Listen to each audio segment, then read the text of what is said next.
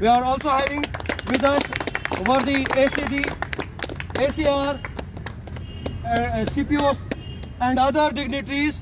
So सबसे पहले जोरदार तालियाँ हमारे इन गेस्ट के लिए सर आपका तहे दिल से बहुत बहुत शुक्रिया अदा करेंगे क्योंकि आपने इन प्लेयर्स की हौसला अफजाई के लिए यहाँ पे तशरीफ़ आवर हुए हैं आप देख सकते हैं कि ग्राउंड की जो कमी है हमारे पास वो आप बखूबी यहाँ से अंदाज़ा आप लगा सकते हैं कि ईदगाह का ये मैदान है, चिनारों से भरा हुआ, लेकिन फिर भी हमारा लोकल यूथ जो है क्रिकेट और बाकी स्पोर्ट्स में इतना एक्टिव है कि यहाँ पे 30 टी थर्टी टू टीम्स ने पार्टिसिपेट किया था और उसमें से ये फाइनलिस्ट जो है आज आपके सामने है जो फाइनल खेलेंगे। और हम चाहते हैं कि लोकल लेवल पे ये टैलेंट इसी तरह उभरता रहे और इसमें आपकी तरफ़ से और खासकर हमारी डिस्ट्रिक्ट एडमिनिस्ट्रेशन की तरफ़ से सपोर्ट की ज़रूरत है, हमारे ग्राउंड की ज़रूरत है और बाकी चीज़ों की ज़रूरत है।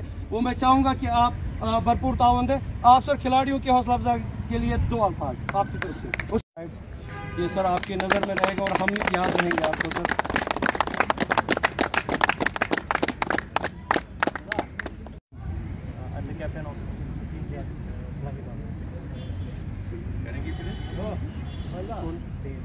Tail is the call, and here is the heads.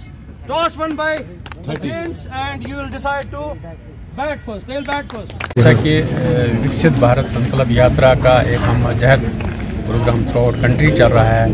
तो इसी सिलसिले में आज टाउन हॉल गांधरबल में भी ये प्रोग्राम था।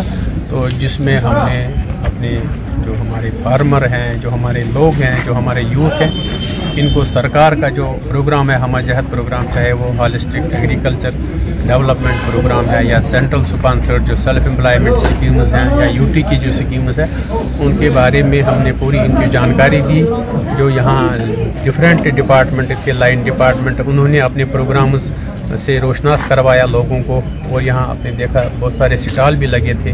ये डिपिक्ट करते कि हमारी जो डेवलपमेंट स्कीम्स हैं वो हमारे लोगों तक कैसे उसकी प्रैक्टिकल जानकारी पहुँचे और वो किस तरह से सरकारी स्कीमों का फ़ायदा उठाए। सर अनएम्प्लॉयड यूथ के लिए आप कोई मैसेज अनएम्प्लॉयड यूथ को मैं यही गुजारिश करूँगा कि वो सरकारी नौकरी के पीछे अपना पोटेंशियल ज़ाया न करें। जो हॉलिस्टिक एग्रीकल्चर डेवलपमेंट प्रोग्राम में बहुत सारी स्कीम्स हैं इंटीग्रेटेड स्कीम्स है।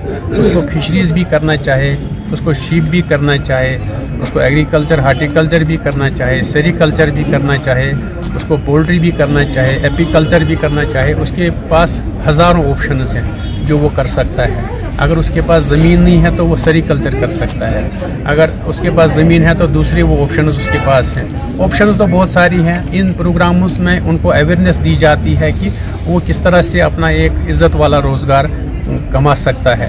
तो इसीलिए आपसे, आपके माध्यम से भी गुजारिश रहेगी अपने यूथ से स्पेशली गांधरबल के लोगों से कि वो सरकारी स्कीम्स जो हैं, वो उनका फ़ायदा उठाएँ, वो डिस्ट्रिक्ट अफसरों के जाएँ।